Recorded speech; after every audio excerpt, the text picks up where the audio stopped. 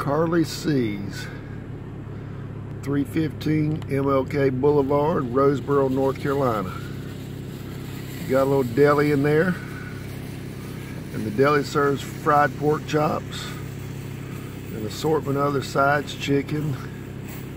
I got the cabbage and the uh, rice and gravy, and they do serve chitlins nice clean place. Lady in the deli was really nice. I have to give them a four and a half fork rating. Bathroom was reasonably clean, and that was in the very back of the store. This is one place I will be coming back to, and I will be having me a plate of chitlins. Eat well, my friends.